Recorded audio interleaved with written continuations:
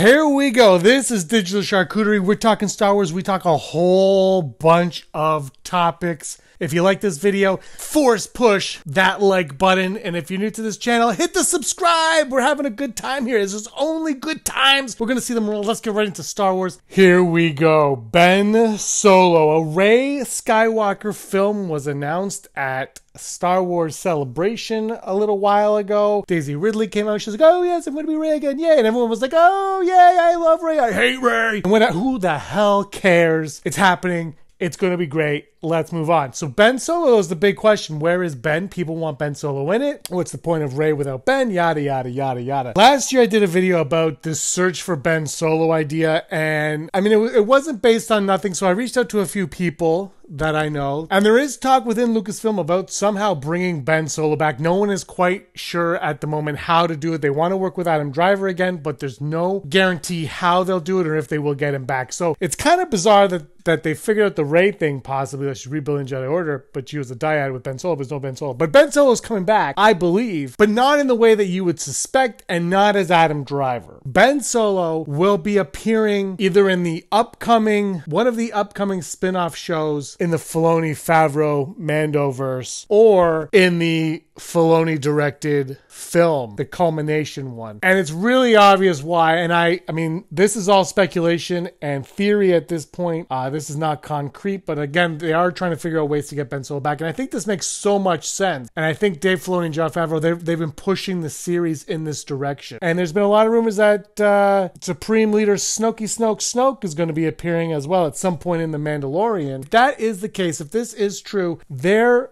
retelling of heir to the empire seems to be full throttle. Now they're not going to do the Timothy Zahn novel beat by beat. They can't and they won't. And Dave Filoni's always said that he felt like the legend stuff, you can't really do the legend stuff perfectly as is because people have reverence for that and he doesn't want to take away from their headcanon and what they believe in. And I totally respect that. And that's why Dave Filoni is a master at Star Wars and what he does. However, they do make uh, changes like IG 11 versus IG 88, things like this. So there is a way around that. But if you recall, in in the Thrawn Timothy Zahn novels, there was a, a Jedi Master Joruus C'baoth, C'baoth, C'baoth. I think it was C'baoth. Anyway, he was a, he was a Jedi. They fleshed him out later on, but in the in the books, he was a kind of he was a clone, and he was a dark Jedi, and he trained Leia's uh, twins and the and you know to the dark side and blah blah blah. This is how you get the Snoke and Ben Solo, right? Because you can't recreate what they have.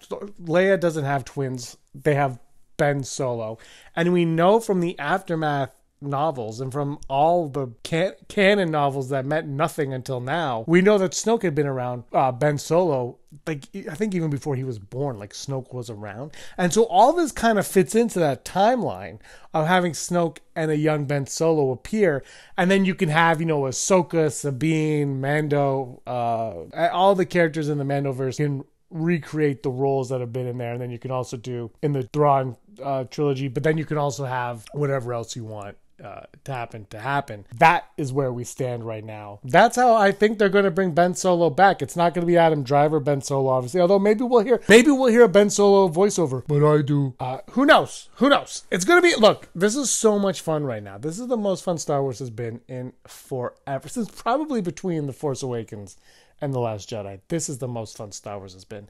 And if you disagree, suck a nut! Thanks everybody for watching. Give us a like and a subscribe. And until next time, may you be the master of your own universe.